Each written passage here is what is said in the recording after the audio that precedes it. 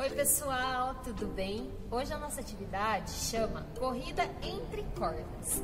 Nessa atividade nós vamos trabalhar o sentido de direção, direita, esquerda e também vamos trabalhar a coordenação motora geral. Para essa brincadeira, nós vamos precisar de cinco cordas. Deixou aqui posicionado para vocês já observarem como que é para fazer, tá? Então vocês vão estender as cinco cordas e a gente vai fazer atividade aqui entre elas. Também vamos precisar de uma garrafa. Eu até coloquei um pouquinho de água, ó, para ela ficar pesada, para o vento não derrubar. Também coloquei um cone para vocês melhor visualizarem, mas pode ser usado a garrafa para substituir o cone, tá bom? Olha o vídeo aí que a Pro gravou.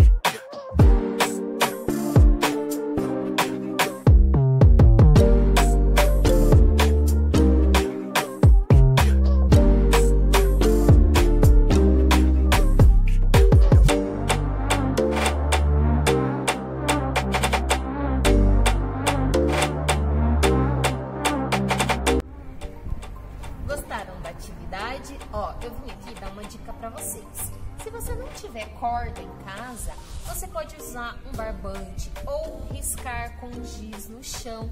Ou se o chão da sua casa tiver a linha do piso, você também pode utilizar, tá bom? Boa diversão a todos. Um beijinho no coração.